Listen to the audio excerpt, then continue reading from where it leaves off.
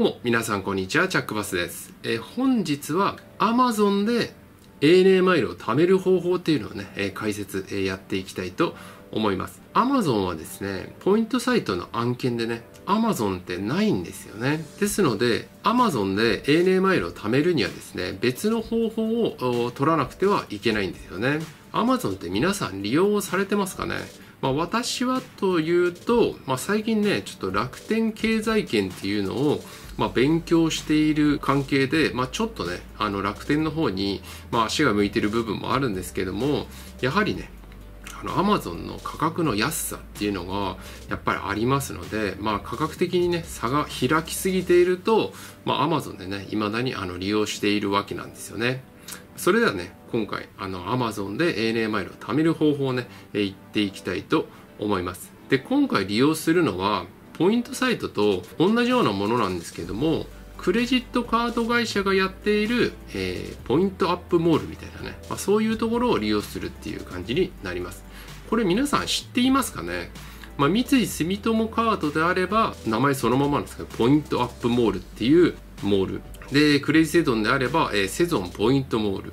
まあ、JCB であればオキドキランドっていう感じで、まあ、各クレジットカード会社が、まあ、ポイントサイトのようにねあのここを経由して、まあ、購入してくださいみたいな感じで経由してね購入することによっていつもよりねポイントが多くもらえるっていう仕組みなんですよね、えークレジットカードによってねあのあったりなかったりするんですよねで、アメックスとかね、なかったりするんですよ。まあまあ、アメックスはね、まあ日本の会社じゃないので、まあそこには参入してないだけかもしれませんけども、クレジットカード会社によって、まあそれが、えー違うっていう風になってるんですよね。ですので、えー今回は、えークレジットカードにね、このポイントアップモール自体が、えー依存してしまいますんで、ANA 東急クラブ級クレジットカードありますよね。まあ、こちら ANA マイラの方で、まあ、保有している方もね、まあ、多いと思いますし、まあ、ポイントサイトからね ANA マイルを貯めるっていう意味で、まあ、今現時点でね高いね交換率を誇っているこの ANA 東急クラブ級カードね持たれている方多いと思いますんで、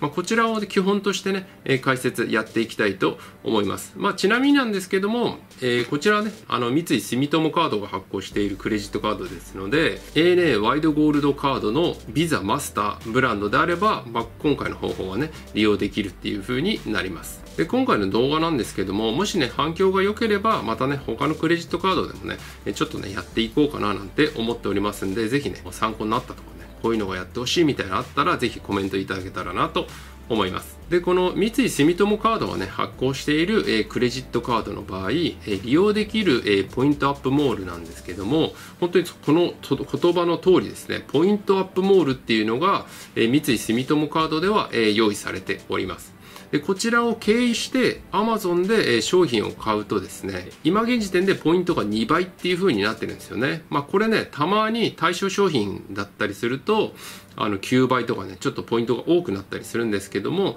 今現時点は2倍っていう風になっております。ですので三井住友カードの場合、ま、1000円につき2ポイントが貯まりますよね。まあ、ちょっとこの1000につき2ポイントっていうのもちょっと来月から変わってきてしまうんですけども、まあ、概要自体はねあの変わらないので、まあ、こちらでね解説させていただくんですけどもこの1000円につき2ポイント貯まるっていうのが内訳がありましてこの2ポイントのうち1ポイントは通常ポイントで付与されるんですよね。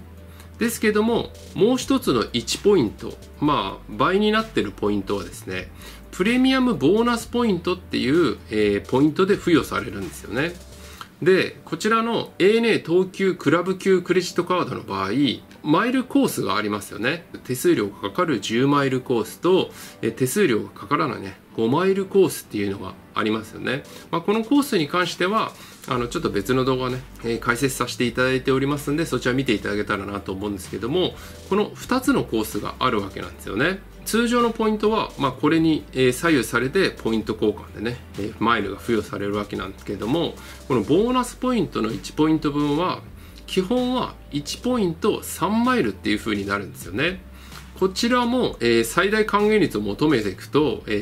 3.5マイルまでね、あのー上げることができるんですけども、ちょっとここではね、割愛させていただきます。えーそれでね、合計すると、えー1000円の利用で、10マイルコースの場合の人は13マイルが貯まる1.3%還元っていう風になります。でこれがえ5マイルコースの方であればえ8マイル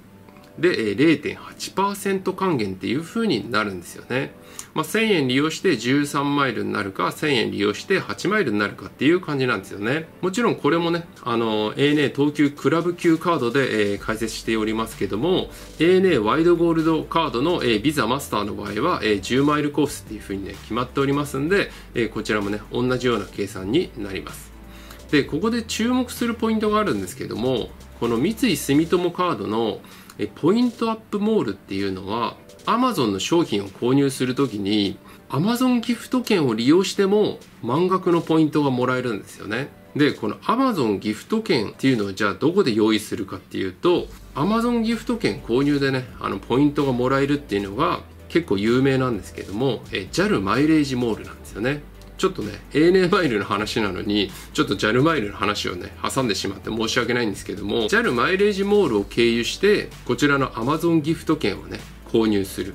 そうすると、えー、JAL マイルをね、えー、貯めることができるんですよね。ですので Amazon ギフト券を購入して三井住友カードのポイントアップモールで商品を購入する。そうすると ANA マイルも貯めれるし JAL マイルも貯めれるっていう風になるんですよね。まあ、先ほどの例でいくと、えー、1000円の利用でね、えー、計算させていただいておりますんで、1000円の場合は、えー、10マイルクロスの場合は13マイルプラス 5JAL マイルがね、貯めれるっていう感じで、えー、5マイルコースの人であれば、8マイルプラス、えー、5JAL マイルがね、えー、貯めれるようになります。ですので、Amazon を利用する人は、JAL マイルも貯めることができますし、ANA マイルをね、貯めることができるわけなんですよね。いかがだったでしょうか、えー、今回は Amazon の利用で ANA マイルを貯める方法をね、えー、解説させていただきましたけども、えー、ポイントサイトをね、ずっと利用していくと、やはりね、Amazon で、えー、買い物する場合、